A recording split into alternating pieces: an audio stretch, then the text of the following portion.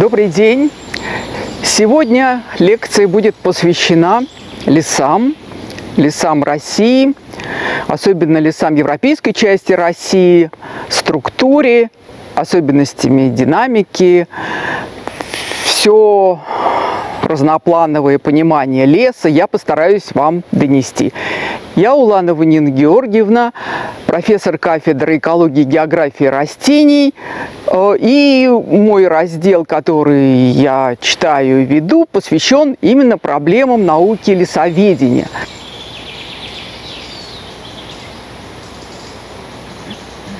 Лесоведение – это наука о биологии леса, его биологии, экологии, динамики э, во времени, в пространстве. И эта наука возникла на стыке, на самом деле, очень многих наук, потому что это не только биология, но это и география, это и геология, и почвоведение, и зоология, и климатология. То есть раз, разнообразные аспекты науки, они стыкуются в объекте, а объект – это лес.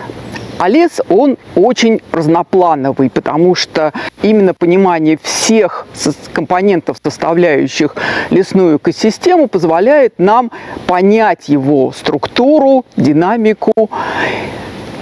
И на самом деле лесоведение является теоретической частью другой науки, которая называется лесоводство. Лесоводство – это уже прикладная наука, которая занимается разработкой методов, технологий освоения лесов, использования древесины. И э, вот эта прикладная наука э, действительно очень важна э, для России. Три четверти площади площади России занимают леса. Эти леса очень разнообразные. И Сибири леса отличаются от лесов европейской части России, поэтому если мы с вами посмотрим на карту лесов России, то вы видите, что по площади на самом деле преобладают лиственничники, потому что именно они занимают таежную территорию э, Восточной Сибири. И северо-восток Сибири занимают кедровый стланник. А вот если мы посмотрим на карту европейской части России, тут вы видите, должны, в принципе, как зональная растительность, преобладать э, еловые леса. Но на карте вы видите преобладание, к сожалению, не лилового цвета, который характеризует именно, отражает положение еловых лесов, а преобладает голубой цвет. А голубой цвет – это вторичные леса, которые образовались на месте сплошных вырубок, пашень. И вот эта голубая полоса, она уходит и в Сибирь. И если теперь мы оценим, а какая же, э, какие же леса преобладают в европейской части, то оказывается, что преобладают на самом деле березняки. Березняки, осинники в меньшей степени, но еловых лесов, к сожалению, осталось очень мало. И если мы э, посмотрим с вами на вид из космоса, то э, на, этой, на этом снимке вы видите преобладание зеленого цвета. Да, у нас, безусловно, европейская часть, лесная территория, и это, в общем-то, хорошо видно. Но преобладают березовые леса. Это большая проблема, потому что еловые леса у нас сохранились только в Придурале, на северо-востоке. Это территории гористые, малодоступные, там практически нет дорог. Это территории э, в значительной степени заболоченные. То есть там растут ельники небольшой высоты, э, которые дают маленькую продукцию. Из-за этого э, работникам лесного хозяйства экономически невыгодно разрабатывать эти участки, поэтому они сохранились. Это последние леса, которые отражают зональный тип растительности. Это для нас очень важно. Мы с вами поговорили про ельники, про березняки, но не надо забывать, что вся Карелия покрыта сосновыми лесами. И сосновые леса встречаются эпизодически и также э, в регионе, где идут в основном ельники, березняки, то есть повсеместно вот эти сосновые леса встречаются. Я вам рассказывала про таежные леса, а южнее таежных лесов э, идут хвойно-широколистные леса. Хвойно-широколистные леса занимают значительные площади европейской части России. Причем э, особенность этих лесов, что можно встретить как э, массивы хвойных лесов, так, безусловно, и фрагменты широколистных лесов. И э, смешение вот этих э, типов растительности э, создает э, все многообразие э, лесов, где мы с вами находимся. Потому что Московская область располагается именно в зоне хвойно-широколистных лесов. Если мы посмотрим на Московскую область, то только север, Талдомский район относится к таежной зоне, а за Кой на юг уже идет зона широколистных лесов. И Московская область даже э, вот э, как отдельный такой географический элемент э, очень разнообразна.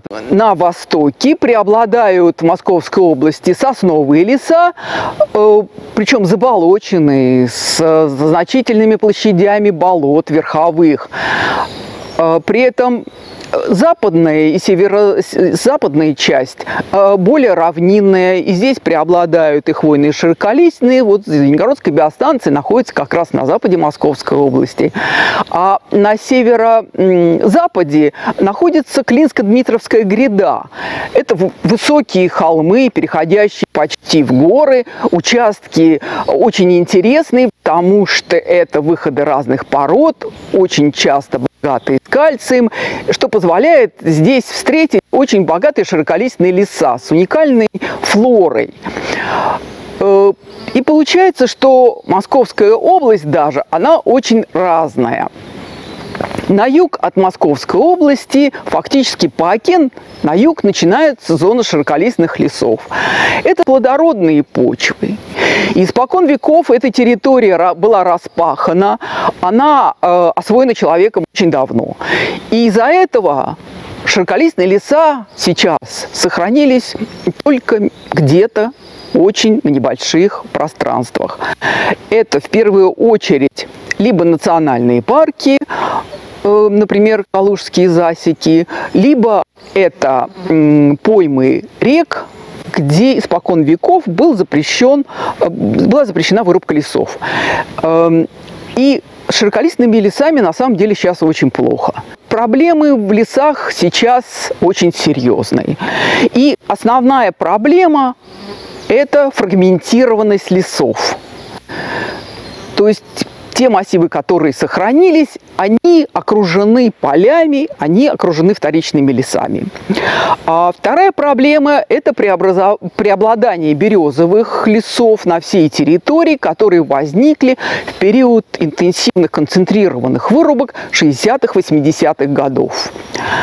А следующая проблема – то, что у нас э, леса Э, теперь не дают такую высокую продуктивность, как это было раньше. Потому что если человек использует лучшую древесину в течение нескольких, смены нескольких поколений, то уже то, что остается, это совсем не лучшего качества.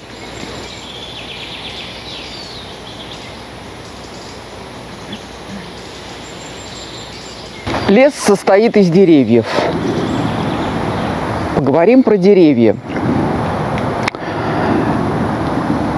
Первое, что мы обязательно должны перечислить, это э, видовой состав деревьев и название вида, а в лесоведении э, и в лесоводстве используют термин порода, это то же самое. А второй параметр – это э, возраст, абсолютный возраст дерева, календарный возраст – которые вычисляют в годах. Каждое дерево имеет свой возраст, и его легко определить, если мы пробурим возрастным буром. И если мы посчитаем число колец э, на спиле то э, сможем определить абсолютный возраст дерева. Ну, другой характеристикой безусловно, является эм, кора дерева, потому что по фактуре коры можно все-таки приблизительно определить, старое это дерево или не очень старое. Э, вот елка, которую я вам показываю, э, она очень большого диаметра. И можно подумать, что это дерево очень старое. Э, но на самом деле э, ему не лет, потому что если мы посмотрим на кору, то кора не очень фактурная, она еще относительно гладкая, поэтому этому дереву не более 60 лет на самом деле. А почему он такое большое? Потому что а, у него очень большие приросты, э, хорошие условия, поэтому каждый год прирост ствола составляет около сантиметра даже, и поэтому это дерево смогло здесь так быстро и здорово вырасти. Второй показатель, который мы можем определить, это стадия антогенеза, то есть мы можем определить биологический возраст этого дерева. Можно э, не только у деревьев, но и у человека по-разному выглядеть, когда вам 50 лет. 50 лет можно выглядеть молодо, а можно выглядеть уже совсем э, представительно. Поэтому э, также и дерево. Э, развитие биологического возраста идет неравномерно. Поэтому в биологии принято выделять стадии антогенеза, то есть стадии постэмбрионального развития растения, любого живого организма. Итак, первая стадия у нас будет проросток, когда мы видим еще семидоли. Вторая стадия – это ювенильное растение, когда уже появляются листочки, но они все равно по виду отличаются от взрослого дерева. Это еще такое крохотное растение маленькое. Эм, следующая стадия матурная, когда уже появляются взрослые листья, э, начинается прирост в высоту, молодое растение начинает ветвиться. А следующая стадия вергенильная, это молодое дерево, эм, которое является уже полноценным деревом, но при этом оно еще не цветет. И вот эта вот стадия вергенильная, она может продолжаться у разных видов э, по-разному. У некоторых э, вергенильное состояние может длиться очень долго, а какие-то деревья очень быстро переходят в генеративную стадию и начинают уже плодоносить. Так, например, э, сосна может начать плодоносить, когда ей 80 лет. Надо отметить, что следующая стадия субсинильная, а за ней следует синильная стадия, это когда дерево уже находится в плохом состоянии, потому что теряет ветви, э, появляются сердцевинные гнили, Э, и дерево уже вот в таком старческом состоянии встречается на самом деле очень редко, потому что большинство деревьев э, плодоносят э, до конца своей жизни. И вот это синильное и субсинильное состояние встречается довольно редко.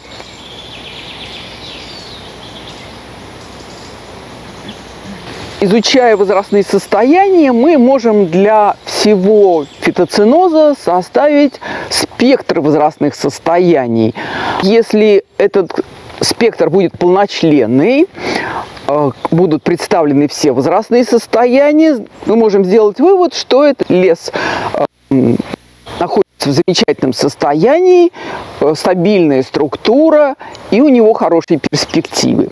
А вот если возрастной спектр будет обрезан, например, в молодой части будут отсутствовать молодые деревья подрост, мы можем сразу вывод, что перспективы у этого э, фитоциноза в дальнейшем сомнительны, ибо молодого поколения нет, и что будет дальше, не совсем понятно.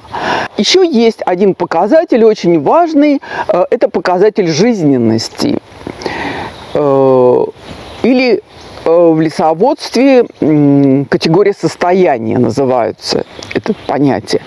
Потому что растения э, одного календарного возраста и в одной и той же стадии возрастного состояния могут быть очень разные. Растению повезет, оно вырастет в хороших условиях, без соседей, которые будут, могут его угнетать. Э, дерево вырастет большим и сильным, да, то есть вот эта вот елка, как вы видите, она выросла очень высокая. Понятно, что она росла в очень хороших условиях. То есть по жизненности это бал первый, самый высокий. А, а вот если дереву не повезло, и оно росло э, рядом с сильным э, соседом, э, его затеняли, то это дерево будет совсем не такой высоты, то есть оно будет невысокое, у него будет маленький диаметр, потому что э, приросты будут маленькие, то есть его жизненность будет низкая.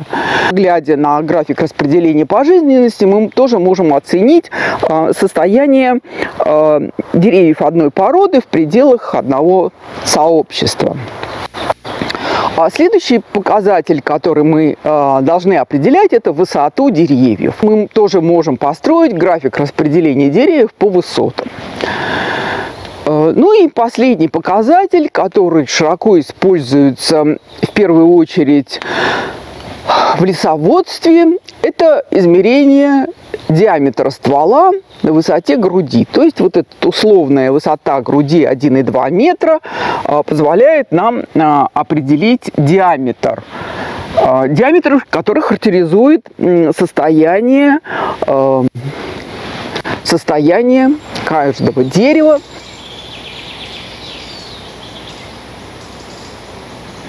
В лесоводстве есть такой термин, который называется насаждение. Да, не надо пугаться этого эм, термина, потому что, в принципе, это фитоциноз, но исторически так сложилось, что в лесоводстве используется термин насаждение.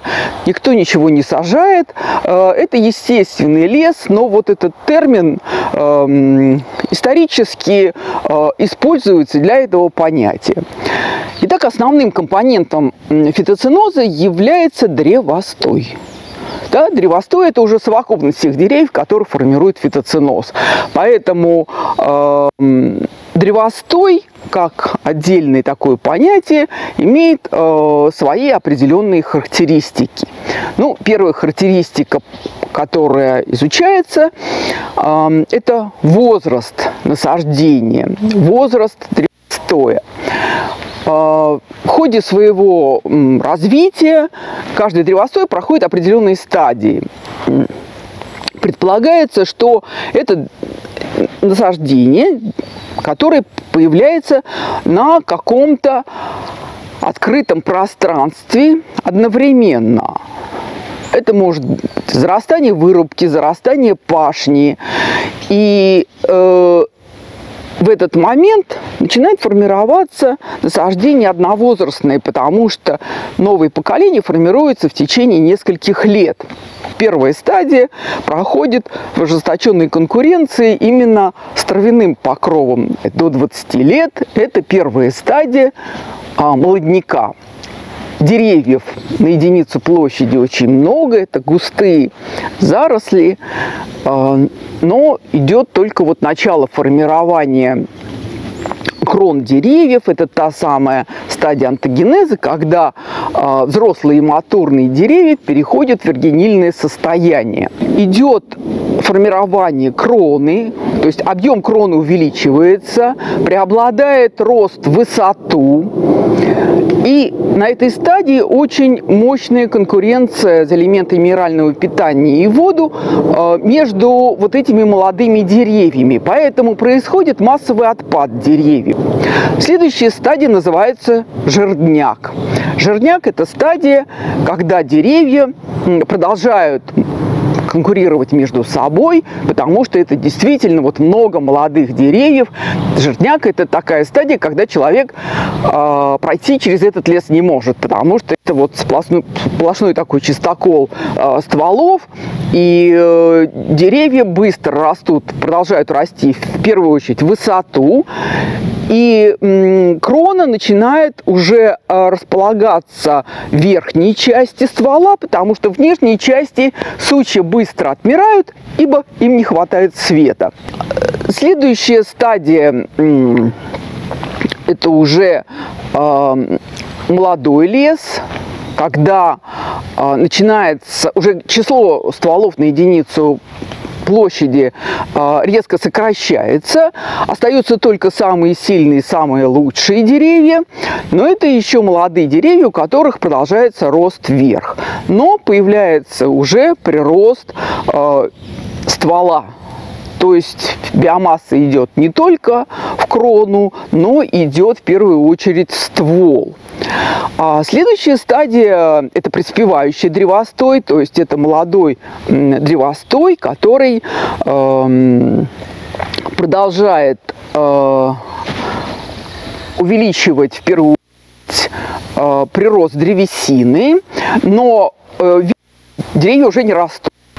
А следующая стадия называется спелый лес. Для ели, э, сосны этот возраст соответствует 80 э, годам, когда дерево достигает своего максимального развития, и, в принципе, в лесном хозяйстве в этот период деревья уже поступают в рубку. Да? То есть лес можно уже рубить, потому что он достиг всех своих э, максимальных показателей по в первую очередь, конечно, по биомассе ствола потому что для лесного хозяйства важно, конечно, а, это объем древесины. То есть это лучшая стадия, когда по всем параметрам дерево как достигает их потенциальных возможностей. Дальше идет стадия перестойная.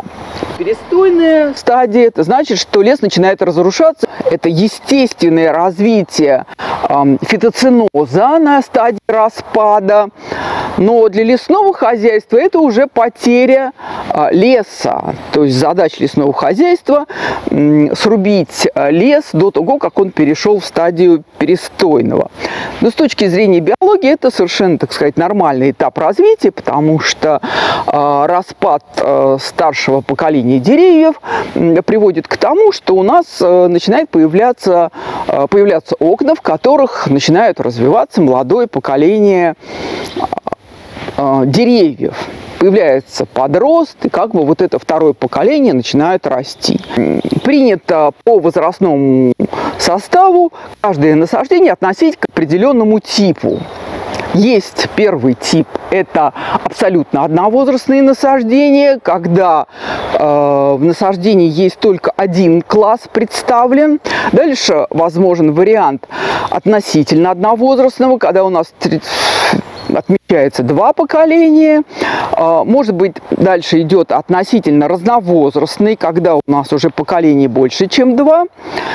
Ну и э, последний вариант – это абсолютно разновозрастный лес. Это большая редкость. Да, в Центральном лесном заповеднике мне, например, удалось в свое время найти только четыре участка такого разновозрастного леса. Э, хотя это центральный заповедник, это, в общем, такая действительно э, заповедная территория, где э, лес практически не рубился никогда.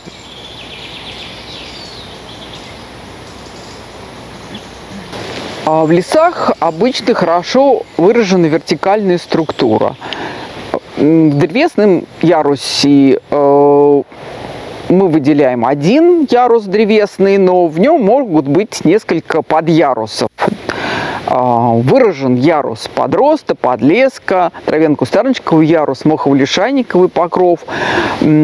Обычно э, формируется один четкий э, ярус, если мы дело имеем с культурами, э, с посадками, когда ведение лесного хозяйства ориентировано именно на формирование одного полога э, с одной породой. Но э, в природе э, чаще всего э, мы можем встретить и ситуации нескольких подярусов, когда у нас есть несколько пород. У нас на биостанции очень хорошо выражено обычно два яруса деревьев. Первый ярус образует береза, ибо она раньше возникла на, здесь в данном случае, здесь э, случай зарастания полей был, поэтому вот эта береза, она выросла раньше. А под пологом э, березы выросла ель.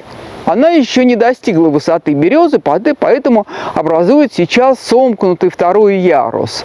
И даже деревья более молодые, вы видите, они еще ниже, чем второй ярус, но говорить о третьем ярусе здесь не приходится.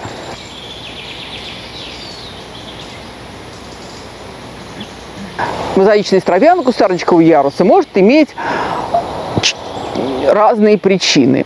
С одной стороны, она может быть фитогенного происхождения.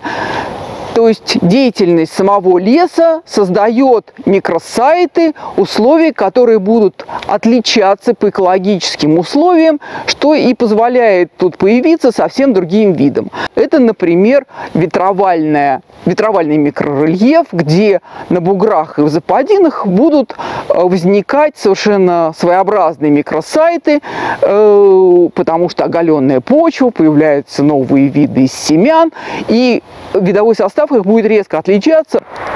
К фитогенной э, мозаичности э, относят также клональное распространение растений. Вот здесь прекрасный пример э, длиннокорневичный осока, который формирует сплошной покров, а очень часто это может быть клоны э, черники, которые четко ограничены э, в пространстве, и мы видим, что участок такого клона, который может занимать и 5 э, метров квадратных, на самом деле это просто одна, э, одна особь она объединена общей системой корневищ, и то, что мы видим в пространстве, это просто есть результат вегетативного э, длительного размножения, э, существования этого клона в течение 100 э, и более лет.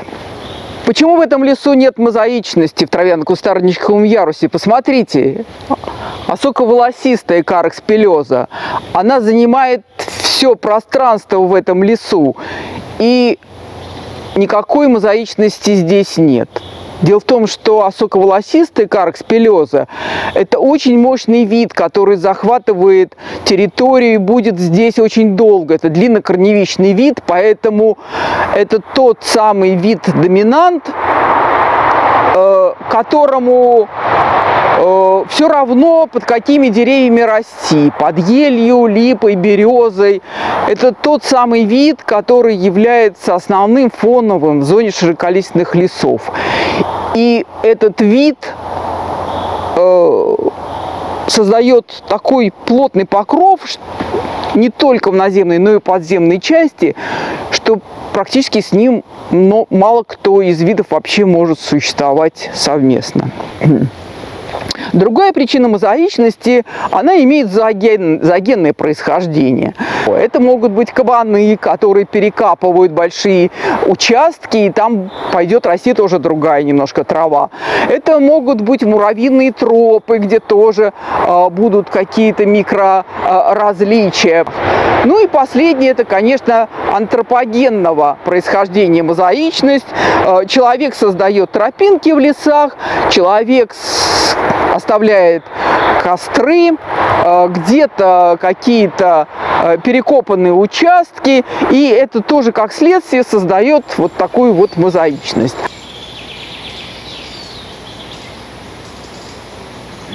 В коренных лесах происходят неожиданные события. Например, вываливаются деревья. Вываливаются, как перед вами так как краед-типограф съел это дерево, либо от старости падают деревья, э, либо еще по каким-то причинам могут выпадать деревья группами. Э, в этом случае образуются окна. Это совершенно другие условия. Повышенная освещенность, больше, выше влажность, Э, отсутствие конкуренции с древостоем. Возникают небольшие участки, окна, в которых начинает образовываться, формироваться совершенно другая растительность. Здесь прекрасно себя чувствуют папоротники, здесь разросся орляк. Веник лесной тоже прекрасно себя чувствует, он любит участки там, где света много. И э, появляется такой вот элемент мозаичности, связанный исключительно вот с такой оконной динамикой. Вообще-то оконная динамика э, лучше всего связана, чаще всего встречается э, в разновозрастных лесах, коренных разновозрастных лесах. И такой классический пример э, из учебника – это гэп-динамика или оконная динамика, как она называется, э, представлена в буковых лесах монодоминантных, где преобладает только бук. И именно здесь образование окна приводит к тому, что именно в этих условиях есть возможность появиться новому подросту деревьев, бука. И постепенно зарастая, такое окно формирует новую элемент популяционной мозаики, где есть деревья более молодые. Если э, в пространстве есть несколько окон разного возраста, то если мы в совокупности посмотрим структуру популяции на большой территории такого леса, она оказывается абсолютно разновозрастной, эта структура популяции бука. И это является одним из механизмов а, поддержания стабильного состояния этого циноза в течение веков. Ну, здесь на биологической станции эти окна могут быть очень разные. Очень часто в этих окнах прекрасно себя чувствует рябина. Она может э, быстро расти, э, сформировать ярус полный и даже цвети, цвести и плодоносить. В более богатых условиях такие окна м, занимает сразу лещина. Э, ну, в крайних случаях, если у нас действительно есть большие нарушения почвенные, может появиться береза. Но вот в таких окнах появляется, например, дуб.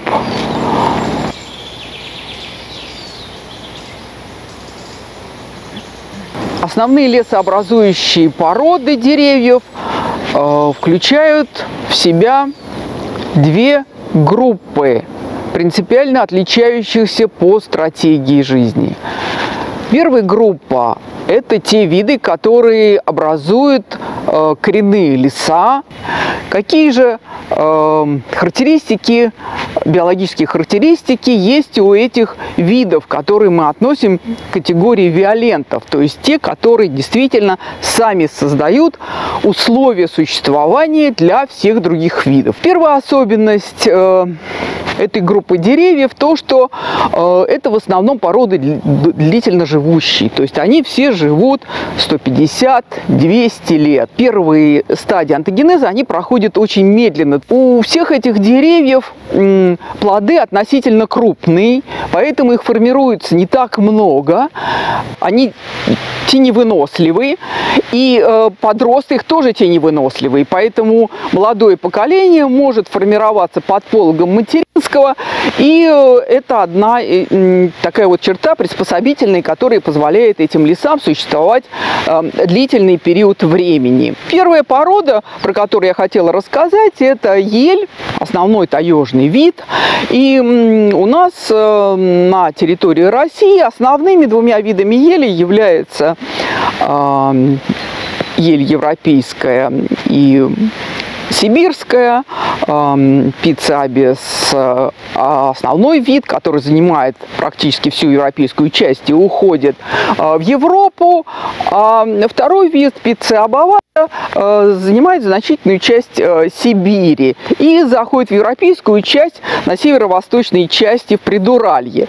Но, с другой стороны, эти виды гибридизируют между собой, поэтому есть достаточно эм, такая широкая полоса, которая уходит через Архангельскую область в Карелию, где эм, даже выделяют отдельный вид или подвид пиццефеника, где вот эти вот свойства этих двух видов, они уже а, пересекаются. Наша ель преобладает э, в условиях, э, избегает повышенное увлажнение и э, условия, где влаги не хватает. Вот это прекрасная ель, которая растет на биостанции, которая просто а, огромная, а, высокая. И посмотрите особенность ели, которая растет не в лесу, а растет в одиночку сама по себе. Но первое ее отличие, что действительно у нее конусообразная форма кроны. Э, и главное, что ветки в нижней части кроны тоже сохраняются. Э, в лесу э, нижние ветки кроны довольно быстро засыхают, и поэтому крону мы можем видеть только где-то наверху цены. Почему? Да потому что света много. Вся хвоя, все ветки получают достаточно света, чтобы сформировать такую замечательную крону. Ну, вторая ее особенность, э, посмотрите, шишки практически по всей вертикали кроны практически до самого низа доходит. Опять почему? Потому что э, света достаточно. Возникает вопрос, а, а ведение лесного хозяйства ориентировано вот на такие елки, прекрасный дивный, в парковый формат. Э, лесное хозяйство-то, вот такие елки лесному хозяйству не нужны. Нужны совсем другие деревья, те, которые выращиваются в посадках. И вся идеология посадки, ухода за такими а, насаждениями основывается на том, чтобы а, эти деревья росли а, при высокой плотности, чтобы у них была активная конкуренция между собой, чтобы только лучшие росли быстрее выше. Но в окружении угнетенных елей у них довольно быстро происходит засыхание нижних веток, поэтому формируется ровный ствол без веток, и крона только наверху. То есть качество древесины в этом случае э, ствола будет очень хорошее.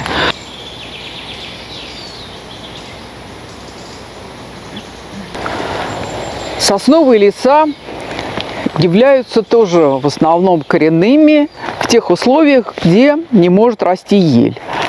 А вот там, где растет ель, сосна становится породой вторичной. И в этом диалектика сосны, что сосна обладает, с одной стороны, качествами а, доминирующего вида доминанта, виолента, сосна, кроме этого, обладает еще стратегией эксплерента э, пионерного вида, потому что это именно тот вид, который очень часто на песчаных почвах захватывает территории сплошных вырубок и очень хорошо себя там чувствует. Но сосна долго живет, иногда и до 200, и даже до 300 лет. Э, и встречается практически и в европейской части, и в Сибири. То есть у нее очень большой ареал э, в России, и она встречается практически везде, потому что это порода, которая абсолютно не требовательна к условиям э, места обитания. Если сравнить э, идификаторную роль сосны и ели, то сосна, конечно, не имеет такого мощного преобразующего эффекта, потому что у нее очень крона эм, раскидистая, но она очень редкая. И поэтому сосняк не столь сильно преобразует климатические условия. Сосна отличается от ели своей корой. Посмотрите, какая у сосны толстая кора у взрослых деревьев. И это спасает ее при пожарах. А, поэтому кора сверху от пожара может немножко обуглиться, но высокая температура не доходит до слоя камбии, поэтому дерево не погибает.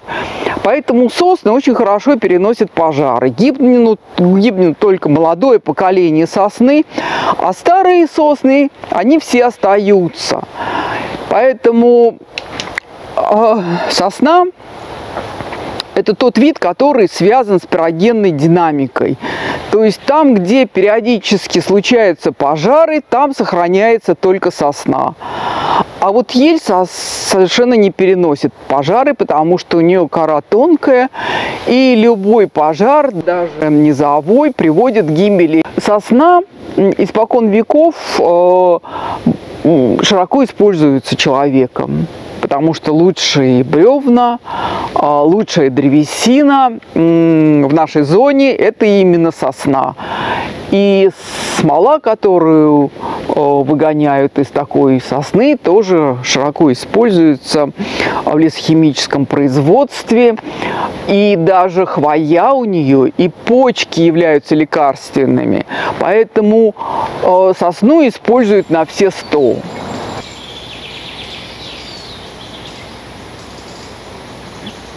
Еще одна важная лесообразующая порода – виолент – это липа. Телекардата является основной породой, которая формирует широколистные леса липы широко распространены и в зоне хвойно-широколистных, и в зоне широколистных лесов. И липа э, отличается тем, что она имеет э, очень разнообразные варианты антогенеза и имеет поэтому э, разные жизненные формы. Э, если дерево находится в состоянии угнетения, если ему совсем плохо, либо растет в условиях неподходящих, то липа э, превращается в кустарник, да, как вот вы видите здесь. Фактически это кустарник, который весь э, свой цикл антогенеза проведет в виде кустарника. Либо это может быть пневая поросль, которая может стать деревом, а может остаться кустарником. Вот тулипы, вы видите здесь пневую поросль.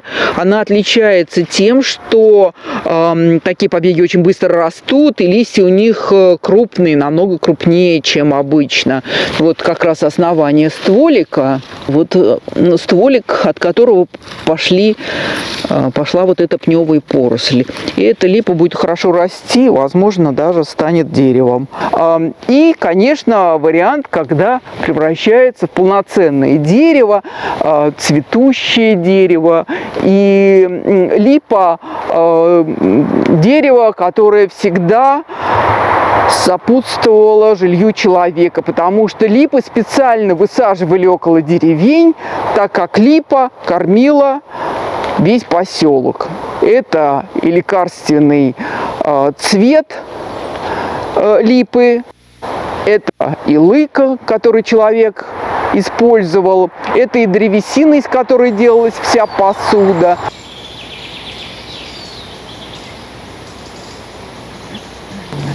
Именно здесь проходят регулярные каждый день утренние встречи. Здесь построение утром, здесь все новости, здесь место встречи. Этому дубу очень много лет. И за ним ухаживают, его лечили, чтобы сохранить дуб как такой могучий символ нашей биостанции.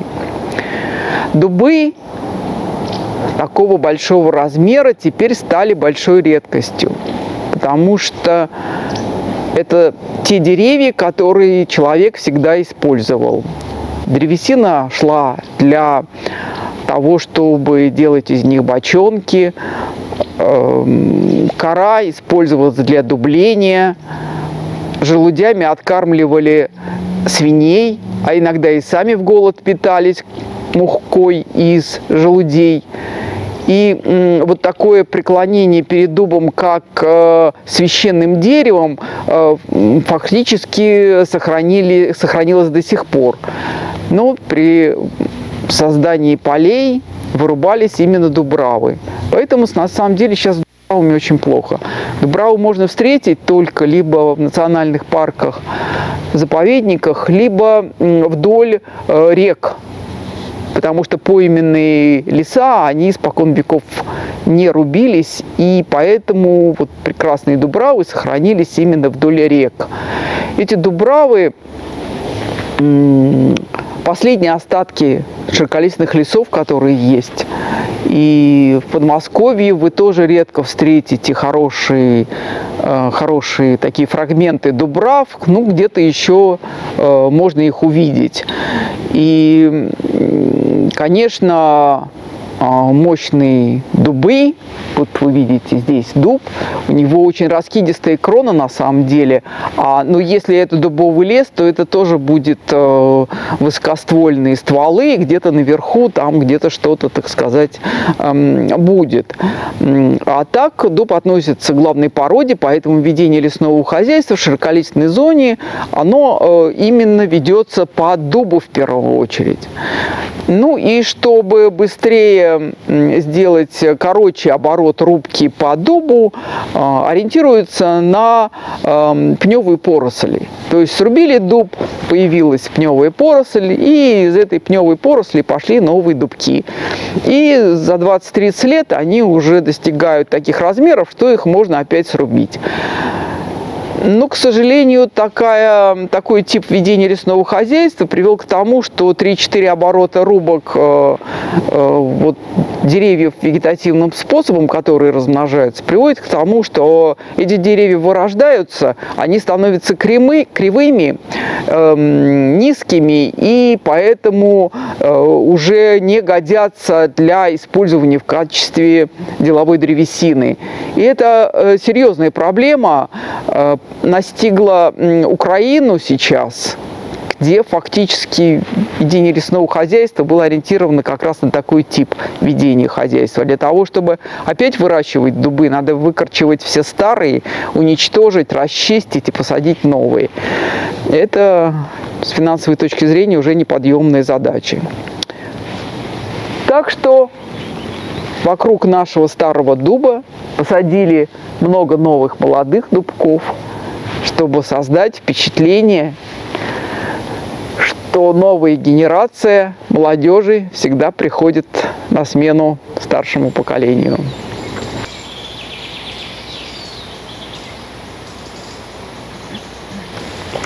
Береза относится к стратегии жизни, которая соответствует эм, пионерным видам, видам, которые захватывают открытые пространства. Для этих видов эм, эксплерентов, для видов э, пионеров характерны следующие параметры. Во-первых, эм, это светолюбивые обязательно виды. Это виды, которые продуцируют каждый год, продуцируют легкие семена, но их так много. Эти семена легкие, они распространяются ветром, поэтому летят на огромные пространства и обеспечивают семенами практически всю поверхность лесной зоны. Кроме этого, эти семена, когда попадают в почву, они сразу прорастают. И они начинают сразу быстро расти. Для них нужна нарушенная почва. И вот в любом месте, где есть какое-то нарушение почвы, есть шанс, что там появится подрост березы. Причем береза хорошо себя чувствует на вырубках, на открытых пространствах. Она хорошо переносит заморозки. Она хорошо эм, и быстро развивается практически тоже в любых как бы экологических условиях. Березовые леса в основном, конечно, вторичные леса. Но в условиях, когда береза не может быть замещена елью в ходе классической вторичной сукцессии, этом случае эта порода может стать уже коренной породой. В каких условиях у нас березняки могут быть коренными? Они могут быть коренными. Это верхний лесной пояс гор, это условия леса тундры, Э, где-то даже тундры, и степной зоне, где другие деревья не могут расти, а вот такие березовые колки, они становятся уже коренной растительностью, потому что другими породами не замещаются. У нас всего э, в России несколько берез.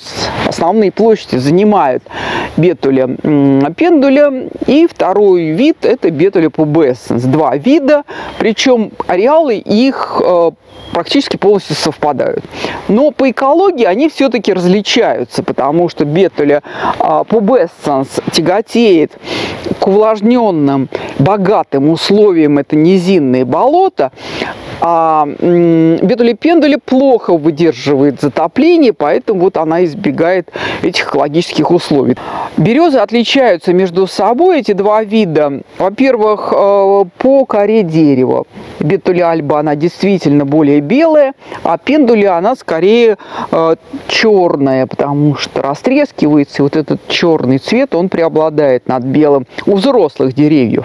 Они отличаются по молодым веточкам, потому что бородавчатая, она действительно имеет такие вот бородавочки по стволикам, а у пушистой таких бородавочек нет. И отличается по листьям, потому что если вы возьмете э, в руки эти два вида, то э, у бородавчатый лист будет э, более э, жесткий, он будет э, такой вот немножко маслянистый по ощущениям, а у пубесценс он будет более тонкий, и вы будете чувствовать опушение руками. Э, по форме они отличаются, но только э, в лучших вариантах. К сожалению, э, форма листа не всегда правильно вот, дает нам представление о виде. Ну и надо отметить, что вообще-то у этих двух берез есть еще гибриды. Хотя они составляют процентов 5 от всех берез, но все-таки вот эти гибриды, они все-таки тоже встречаются. Ну вот, посмотрите, главное отличие березы, то, что у нее а, вот кора такая белая, да, кора белая, потому что э, есть в ней такое вещество бетулин, а это вещество фактически э, не гниет, поэтому береста не гниет да, вот эти письма, которые в Новгороде писали на бересте, они в почве пролежали несколько веков и все равно хорошо читаемы. Поэтому береста испокон веков широко использовалась в быту э, именно для изготовления не только посуды, но и изготовления а, для хранения чего-то, вот этих туесов, да. Ну, конечно, из бересты делали лапти, как вы помните. А древесина березы используется в первую очередь для производства фанеры. Конечно, дрова из березы лучшие.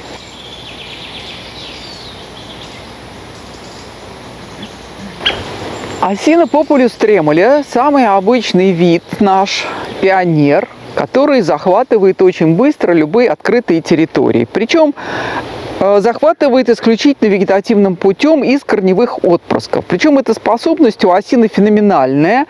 И формирование колоний из э, корневых отпрысков происходит очень быстро. И эта колония формирует э, такой древостой очень плотный, э, то есть на один метр э, квадратный может э, быть около 60-80 корневых отпрысков гектаров. То есть лес восстанавливается так быстро на этом участке, они растут очень быстро, поэтому э, новый осиновый лес возникает фактически за 5 лет. Все, это лес непроходимый.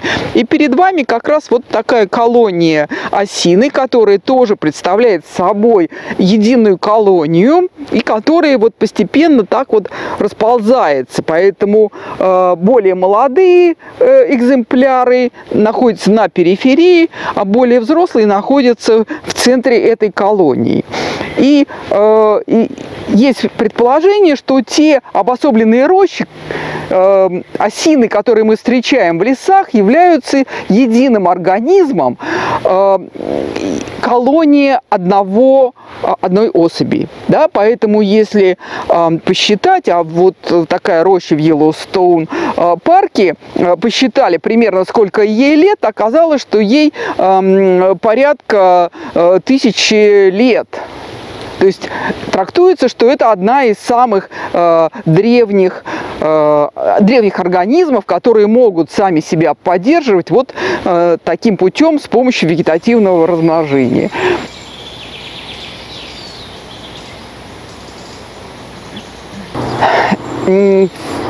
растительные сообщества никогда не не находятся в постоянном состоянии. Они изменяются. Причем изменения могут быть незначительные, а могут быть очень существенные изменения, когда принципиально меняется флористический состав сообществ.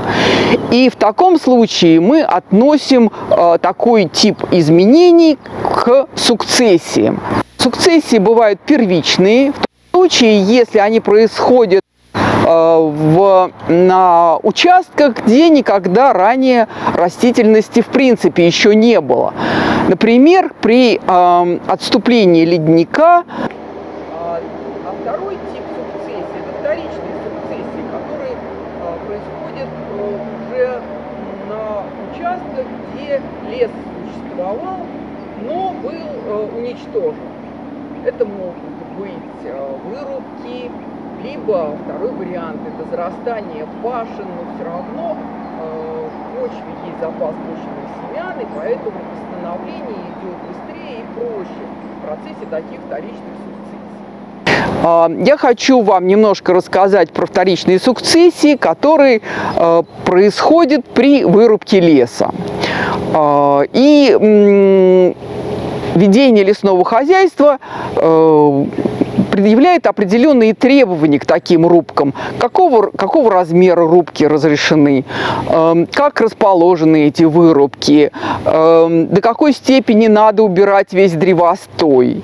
Обычно требование, что весь древостой должен быть вырублен и э, на месте этого вырубленного леса, который вывозится, должны проводиться посадки и дальше ведется уход за этими посадками, потому что цель получить э, качественные культуры культуры либо ели, либо сосны, потому что это главные породы, по которым ведется лесное хозяйство.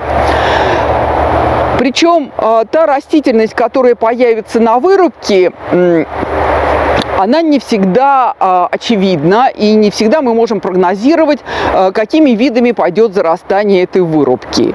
Но самыми обычными э, в зоне таежной и даже в зоне хвойно-широколистных лесов это вырубки вейниковые, потому что вейники очень быстро э, захватывают эту территорию, э, хорошо себя очень чувствуют. Вот это может быть либо э, калимагростис арундинация, либо второй вид э, калимагростис эпигеос, э, который э, длиннокорневичный вид, поэтому он э, быстро захватывает всю территорию вырубки, рубки и становится таким мощным доминирующим видом.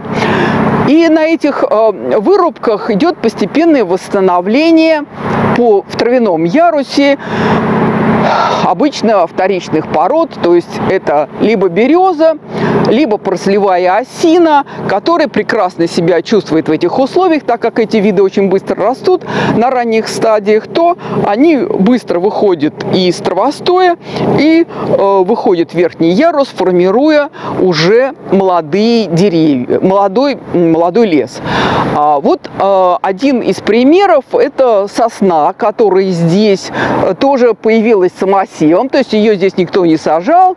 У, из окружающего леса семена налетели на участок вырубки, а этой вырубки уже лет 15. Вырубка леса принципиаль, принципиально меняет все экологические параметры. Они становятся уже не лесными. Во-первых, освещенность становится стопроцентной, э, меняется полностью э, радиационный спектр, который э, поступает непосредственно на Землю, доходит непосредственно до Земли. Кроме этого, изменяется амплитуда температуры, амплитуда влажности.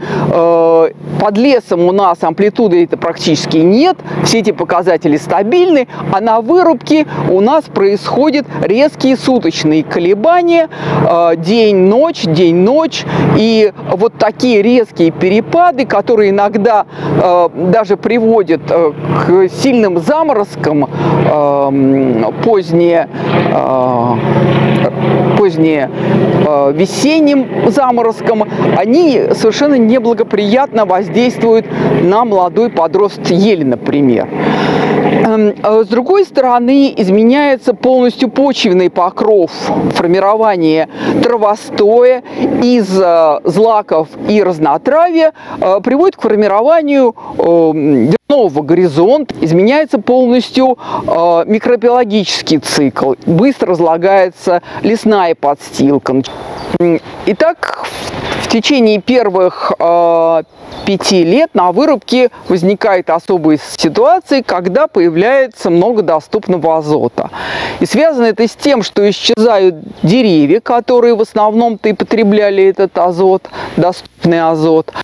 А э, вот этот избыток азота, еще к нему добавляется а, разложение подстилки э, в первые годы, и в результате появляются уникальные для того, чтобы здесь появились виды, которые очень требовательны к азоту, такие как иван-чай, малина, которые очень часто захватывают такие богатые участки вырубок. И появляется много сорных видов, луговых видов, э, за счет чего и увеличивается видовой состав э, растений.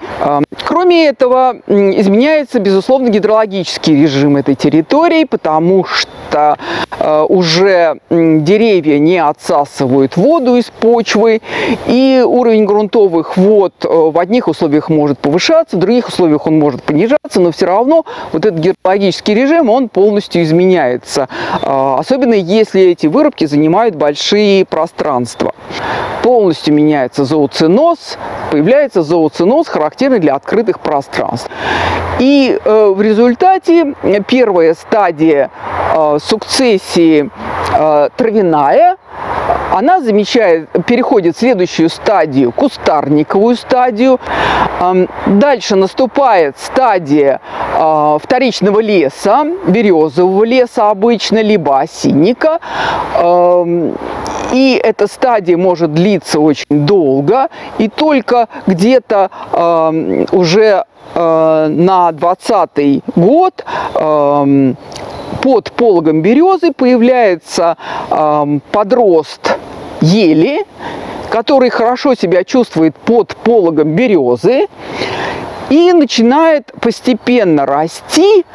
И дальше в процессе такой вторичной сукцессии произойдет постепенное замещение березового леса на еловый лес. И здесь, на биологической станции МГУ, мы как раз наблюдаем вот эту самую стадию, когда фактически э, ярус ели либо составляют э, второй ярус древостоя, первый ярус составляют э, сосны, второй ярус составляет уже подросшая ель.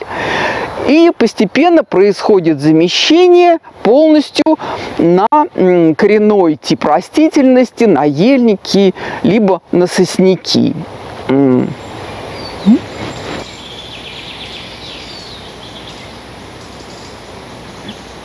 Естественное развитие леса, к сожалению, продолжается не бесконечно. Очень часто происходят катастрофы. Катастрофы бывают либо антропогенного происхождения, к которому относятся в первую очередь разнообразные вырубки леса. И второй вариант – это природные катастрофы. То есть это такие э, мощные события, которые приводят к гибели э, леса, к гибели древостоя. Причем эти катастрофы могут случаться внезапно, они могут случаться на больших площадях.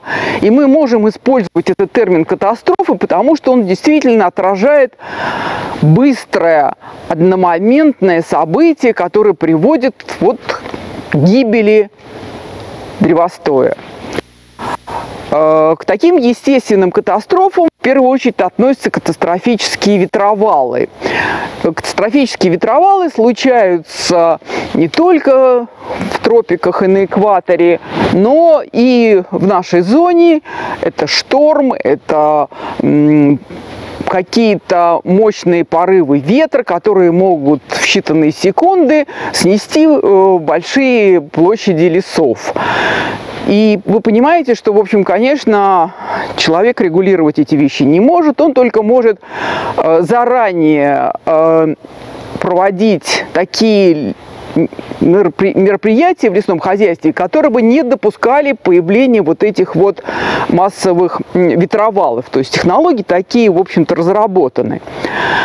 А, и другое событие, это, конечно, пожары. Сейчас про пожары многое, многое пишут. Э, вы по радио, по телевидению э, все время слышите о том, что э, горит Сибирь, горит Австралия.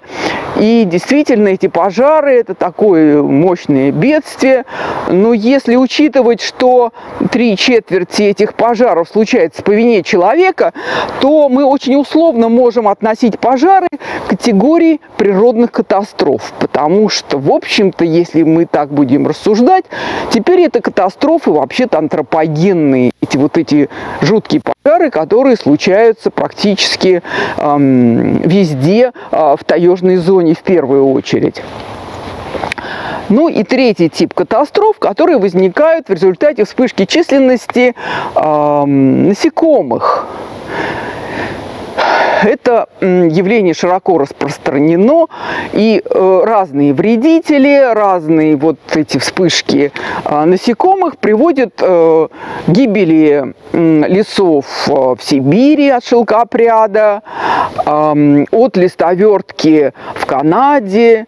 И для европейской части России таким событием явилась гибель наших ельников от короеда типографа. А, Причем биология этого короеда типографа, она очень хорошо изучена, и он является фоновым видом, то есть это тот вид, который всегда жил в небольшом, а, с небольшой численностью, в любых лесах его можно найти. Ну и когда а, он является таким фоновым насекомым, то он в основном поедает, ориентируется на деревья угнетенные, больные. То есть он ну, как бы питается только лубом, то есть он питается только флоэмой, то есть живой, самой вкусной, самой питательной тканью в древесине, поэтому его интересуют только живые деревья. Краед-типограф э, иногда у него начинается вспышка. Это связано в первую очередь с тем, что деревья начинают э,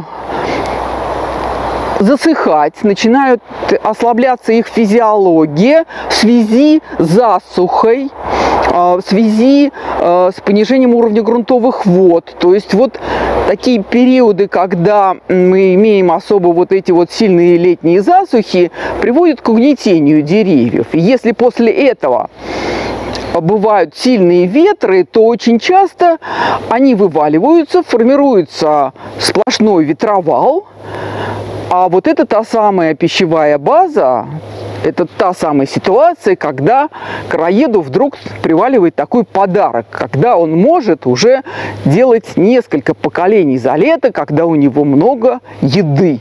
Вот эти вот свежие, хорошие деревья, которые выпали. И в этот момент может начаться как раз вспышка численности этого самого краеда-типографа. Причем эта вспышка в Европе длится уже лет 20. Причем численность этого краеда фактически не уменьшается. Он уже перешел на подрост, он уже перешел на другие породы хвойные, он уже начал пихтой, он уничтожил практически весь верхний ярус э, в горных лесах Европы и постепенно, постепенно дошел до нас. Эта вспышка первая прошла а, в 1998 до 2004 года и вторая с 2009 до 2012 года. То есть вот эти две вспышки короеда типографа, которые прошли по европейской части России, э, действительно привели к гибели больших массивов елового леса. Ну и когда этот короед типограф большой численности, то вы понимаете, что он начинает уже э, питаться не угнетенными деревьями, а самыми лучшими.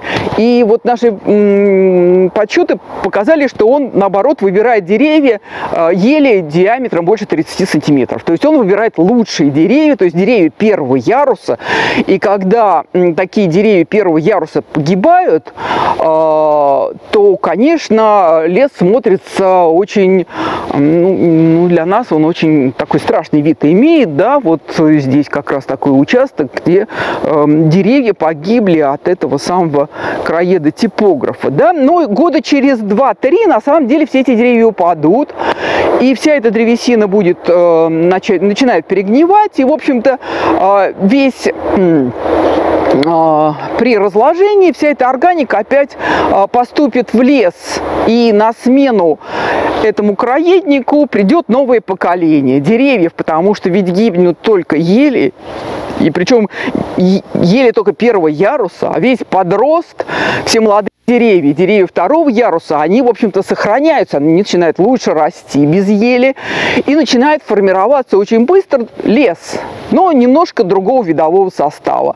Э, и э, на самом деле восстанавливается лес более близкий к той зоне, где находится это сообщество, потому что краед-типограф в первую очередь э, поразил, съел какие леса?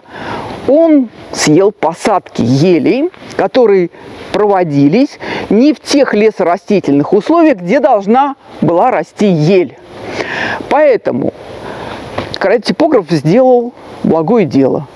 Он способствовал восстановлению исходных широколистных лесов, которые должны произрастать в Подмосковье.